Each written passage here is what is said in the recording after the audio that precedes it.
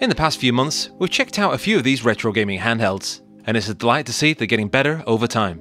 Although we can't say the same for the official products, we can say there's never been a better time to be a retro gamer.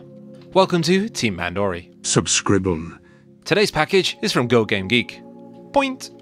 It was sent to us for review purpose, and as always, we're going to keep this as non-biased as we can. If you want to check their website out, links in the description down below. So the product we have today is the Anbernic RG353P.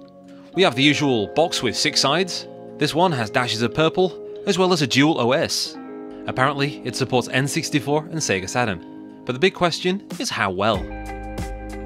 Over here we have a map, and then a barcode, as well as sticker stating 64 gigabytes. Ah, toilet paper. You can't afford toilet paper. So inside the bag we have a handheld. And before we play, we need to take off its top. But don't forget foreplay. And this looks pretty nice. Other things included are a USB-C cable, a bent out of shape instruction manual. There's usually not much point in these, but if you're interested, it's yay big. It'll give you instructions how to add new games, and hotkeys for the OS. This one is in English and Chinese. We're also given a screen protector, so if you use these, you don't have to go hunting down for one. Always use protection, kids. The device itself is based off the Super Nintendo control pad. There's a nice size 4.3 display in the centre, and I'm a big fan of this symmetrical design. On the bottom we have stereo speakers, and a headphone jack in the centre. We have two microSD slots, and we're given two cards, a 16GB Kioxia for Linux, and a generic 64 for the games. Around the top we have four shoulder buttons, with a USB-C for OTG, a reset button, mini HDMI, volume rocker, and USB-C for charging. The D-pad is very similar to a Super Nintendo style, and the buttons feel a bit too small. They have a tactile touch, and there's a roughness to these buttons which I'm not a big fan of. The analog sticks down the bottom are very similar to a Nintendo Switch, and if you push them, you have an extra button. Smaller buttons you have function, power, and start and select. On the top we have two sets of shoulder buttons, and it feels like they've sandwiched two SNES pads together. You know what? This does actually feel a lot like a Super Nintendo pad. That is, outside the analog sticks and the gritty buttons. Now it's time for the size comparison. Today we're going to get out a tube of toothpaste. If you don't use toothpaste, we've also given you some tea bags.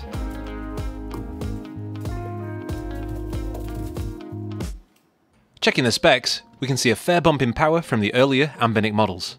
The touchscreen and dual OS is also something that could hold a lot of potential. Let's see the boot time for Linux. One, two, three, four. I declare from war. Which animal always knows the time? A watchdog. What time is it when an elephant sits on a clock? Time to get a new clock. You will like the next one. Why did the girl sit on the clock?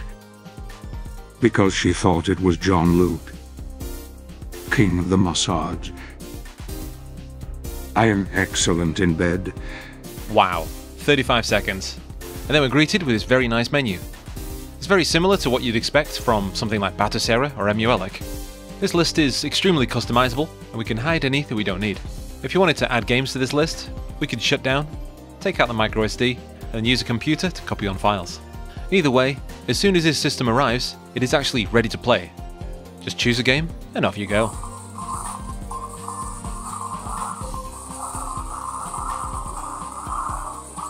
Pushing function key and B button, we can get to RetroArch. From here we can change many settings, such as controls, video, or audio, and we can also use save states. And to exit, function and start. To put it into sleep mode, we just tap the power button, and to turn it off properly, we go to shutdown system.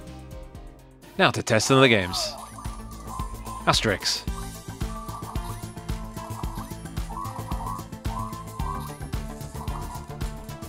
Super Sidekicks 3.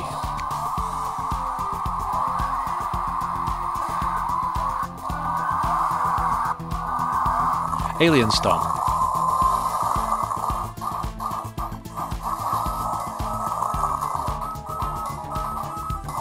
Street Fighter 3 Third Strike.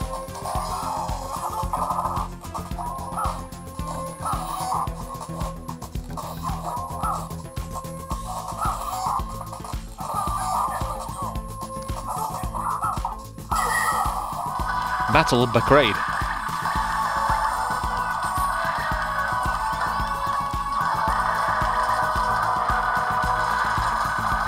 Moving on to the computers, we have Lotus 2 on the Amiga. Even without frame skip, we're getting around 100% speed, but moving on to an AGA title, we're getting around 90%. Close, but not perfect.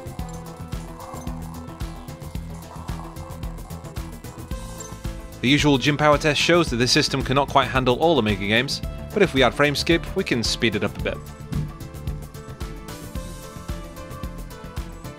But surprisingly, this system handles DOSBox very well.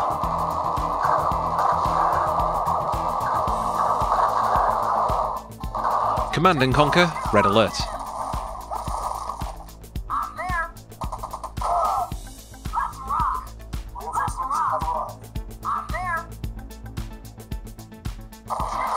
We did try ScummVM, but unfortunately it was having issues, I don't know. Here's Open Beta Rage. There's over 10 of these games pre-installed, and this one is Bare Knuckle Z. But remember we can add more to our list. Bloom and the Secret of Monkey Island.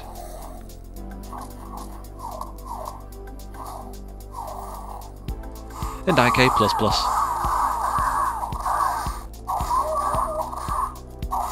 Moving on to consoles, first up is Contra on the NES.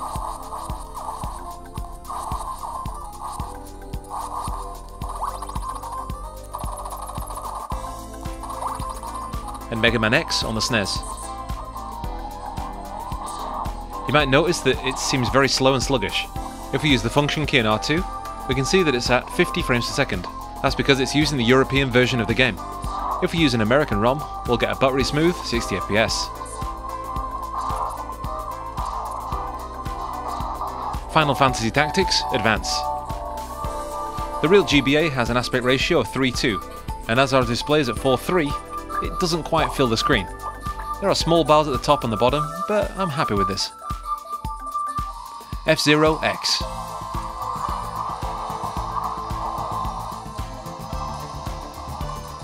Out of the box, it's configured fairly well, but this is one of the easier games to emulate on the N64. If you want to kick it up a notch, we can try Killer Instinct Gold. Absolute arse. She does have a delicious backside. Yum. Diddy Kong Racing. While it's quite nice to see DS games running quite well, we cannot use the touchscreen in any of these emulators. Is Road Rash for the 3DO.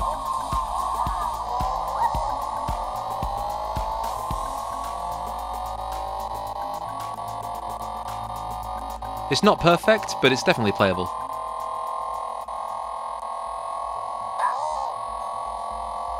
Sega Rally Championship.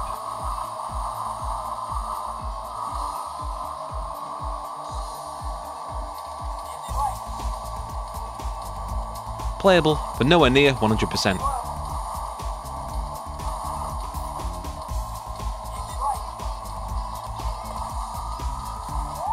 Knuckles Chaotix.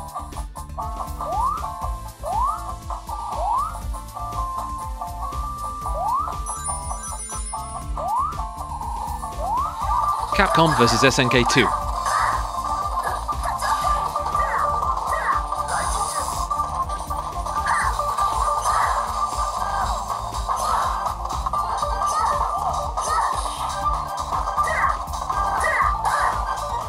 Marvel vs Capcom 2.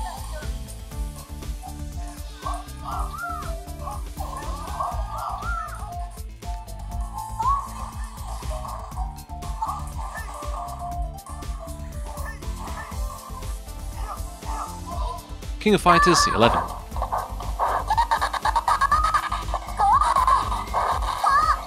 While this game starts off poorly, it does speed up as we play the game. It's not 100%, but it definitely is playable. Tekken 3, PlayStation.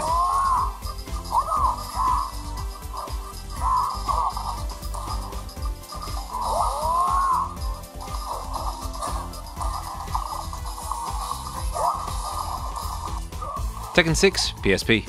It runs well, but it looks ridiculous with this stretched screen. In the options, we should be able to change this, but as the touchscreen doesn't work, the only option is to either plug in a mouse or change the configuration file on a PC.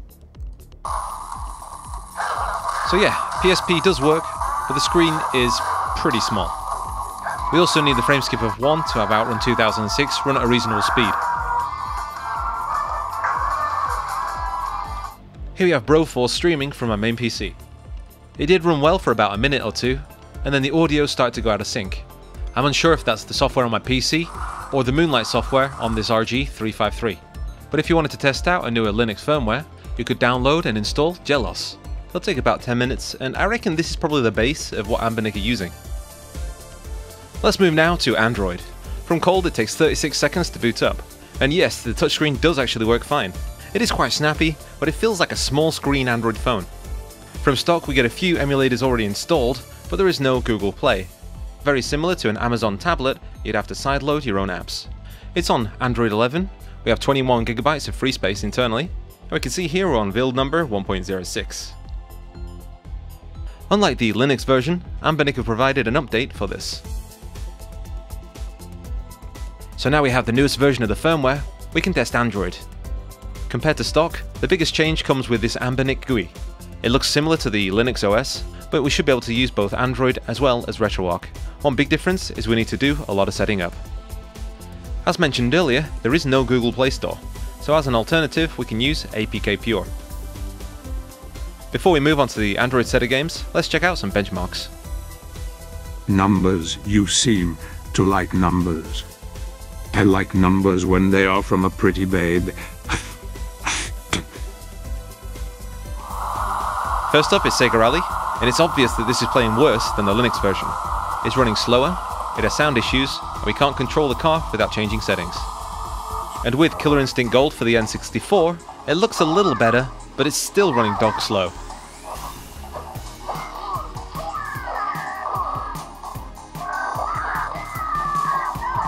With the PSP, we can now change settings using the touchscreen, but yet again, there is no performance improvement over Linux.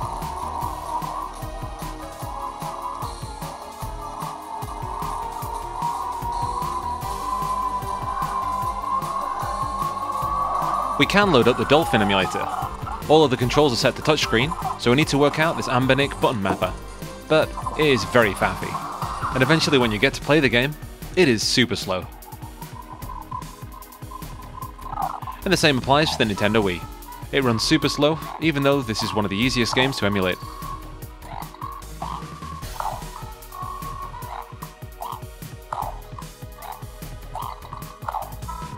Next up, Slither.io. Then again, maybe not. Tallboy runs, but it showcases the problems with his machine in Android. The low resolution with this size screen is just not ideal. What is good to see is ScummVM works quite well with a touchscreen, but with this size display, I'd rather just use the analog stick. Next up is streaming with Moonlight. This actually runs quite well, but as the screen resolution does not match my monitor, we get black bars at the top and the bottom of the screen.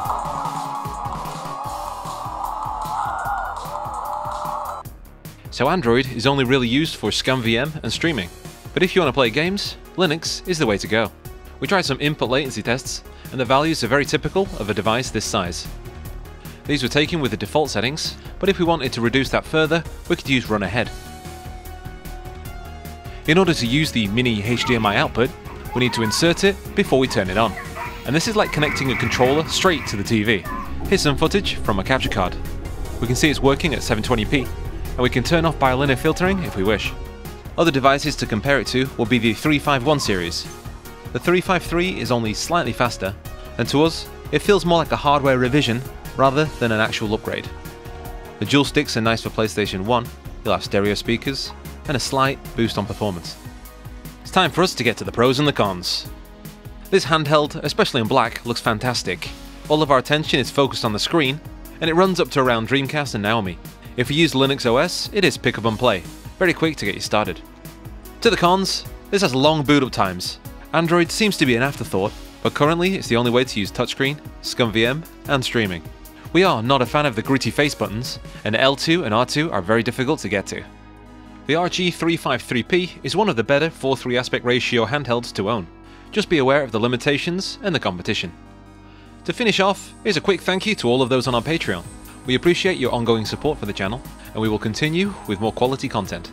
We work to fix cheap Chinese arcade boxes, and also to open up the A500 Mini. Mine certainly is not mini, it is super cute. Okay, so if you enjoyed this video, please give us a like. And if you want more, hit that subscribe. This has been Emu Chicken of Team Pandory, and I'll catch you on the next one. Ta-ra! Tar.